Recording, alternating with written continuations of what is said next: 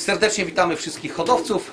E, Podczas wiosennego kiermaszu gołębi e, w Katowicach w Galerii Ship Wilson e, będzie miała miejsce stacjonarna licytacja 10-15 gołębi pochodzących z czołowych polskich hodowli.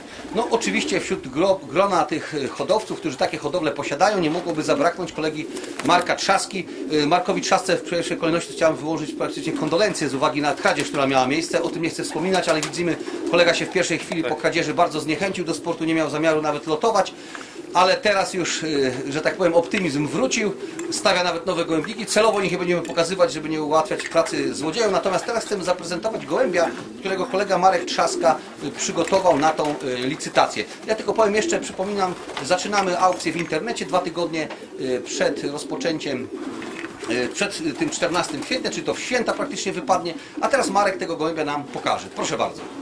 Witam wszystkich. E, tak, e, jest to gołąbek z 2017 roku. O numerze końcowym E, jest to 3763. i oczywiście 0264, Tak. taki jaki oddział Prudnik. Tak, oczywiście. Tak bokiem, bo tylko tak ładnie. Tak.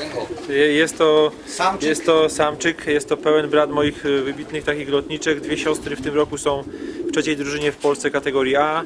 I to była odpowiednio pierwsza, druga samica okręgu i później czwarta, piąta. Także Czyli to jest cztery pełny siostry, pełny brat czterech wybitnych e, sióstr.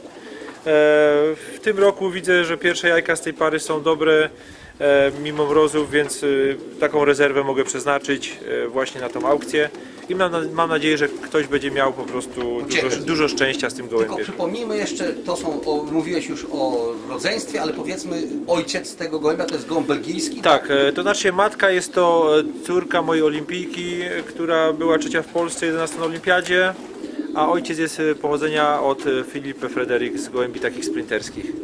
Takiego gołębia będzie mieli. Oczywiście szczegóły pochodzenia w rodowodzie. Kolega Tak. też, jak mówił, zdjęcia tych gołębi rodziców ma, także tam załączymy i będziemy Oczywiście. można sobie to wszystko wcześniej, cały rodowód plus wyniki lotowe kolegi Marka, y, wszystkie tam przestudiować. Także zachęcamy wszystkich do wzięcia udziału w licytacji, no i zainteresowania się tym gołębiem. Także dziękujemy, do zobaczenia, dobry lot. Zapraszam.